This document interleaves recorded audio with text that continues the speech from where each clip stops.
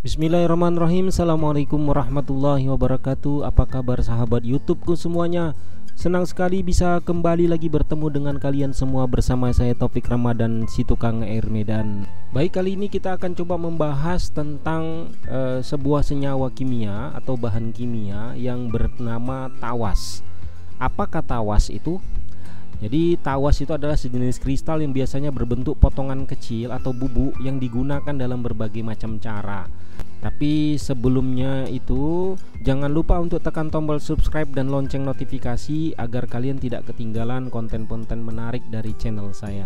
Dalam bahasa kimia, tawas disebut juga dengan kalium aluminium sulfat dodekahidrat atau disingkat sebagai eh, KiSO42 atau 12H2U ya. Implementasi penggunaan tawas itu berbagai macam ya dan sesuai dengan bidangnya. Ya ada dalam dipakai dalam bidang kecantikan, kesehatan dan juga industri. Nah, karena saya bergerak di bidang air, maka kita akan coba bahas apa sih fungsi tawas dalam proses pengolahan air bersih ya. Fungsi pertama tawas dalam proses pengolahan air bersih adalah koagulasi. Jadi tawas berfungsi sebagai koagulasi yang digunakan sebagai koagulan dalam pengolahan air bersih untuk membantu menggumpalkan partikel-partikel kecil yang terlarut atau tersuspensi dalam air. Jadi ketika tawas ditambahkan ke dalam air, ion aluminium dan sulfat dari tawas tersebut akan bereaksi dengan air dan membentuk gumpalan-gumpalan padat yang disebut dengan vlog. Vlog ini akan menarik partikel-partikel terlarut dan tersuspensi di dalam air hingga membentuk sebuah flokulasi. Nah, flokulasi itu sendiri adalah kumpulan dari beberapa gumpalan-gumpalan vlog yang biasanya lebih berat masa jenisnya dari air dan biasanya dia itu mengendap di dasar dari wadah air yang sudah dicampur dengan tawas. Proses koagulasi ini ya sudah pasti sangat membantu sekali ya kawan-kawan dalam proses uh, pengolahan air kotor menjadi air bersih khususnya air yang berlumpur atau air yang masih padat sekali kandungan uh, sedimentasi di dalamnya dan sulit untuk terpisah. Kita bisa mengambil satu buah contoh ya kawan-kawan. Ini adalah satu botol air yang berisikan air keruh ya air yang belum bisa terpisah semua unsur di dalamnya hingga membentuk sebuah kekeruhan air yang sangat tinggi. Kemudian air itu kita masukkan sebongkah tawas ya.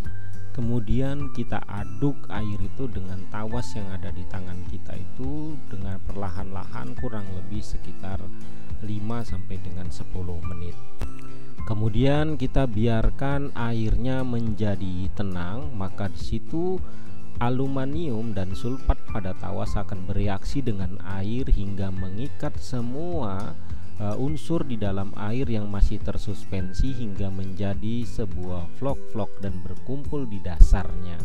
Hingga akhirnya kita akan melihat efek ada gumpalan kotoran berada di dasar dan air menjadi lebih jernih. Fungsi tawas dalam proses penyaringan air yang terakhir adalah tawas bisa mempercepat proses penyaringan air. Jadi ketika air sudah melepas semua unsur yang ada di dalamnya karena proses koagulasi dan pengendapan maka akan lebih gampang menyaring air yang masih terlihat keruh walaupun sudah jernih itu dengan media saring yang kita gunakan bahkan dengan media saring seperti kain sekalipun karena memang fungsi dari saringan di akhir setelah proses pengendapan ini hanya untuk menahan sedimentasi halus yang kemungkinan masih terikut kepada air yang sudah proses endapan tadi. Tapi saya tidak merekomendasikan air yang melalui proses tawas seperti ini langsung kalian pakai untuk konsumsi minum walaupun airnya sudah jernih terkecuali kalian netralisir lagi airnya dengan penyaringan akhir yaitu dengan menggunakan karbon aktif granular ataupun misalnya dengan menggunakan arang. Nah, Dengan proses perebusan juga bisa membantu proses oksidasi pelepasan dari unsur aluminium dan sulfat yang kemungkinan masih melekat di dalam air.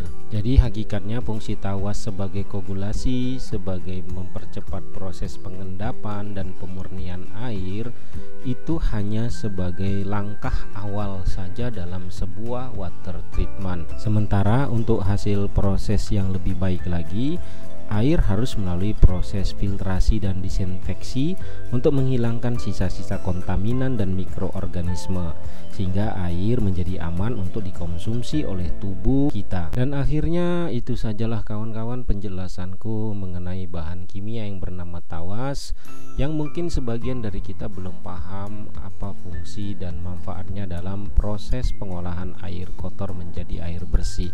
Mudah-mudahan saja video ini bisa menginspirasi dan menambah wawasan kalian kepada ilmu pengolahan air. Dan saya mengucapkan banyak terima kasih kepada kalian yang masih terus setia menonton video saya sampai habis.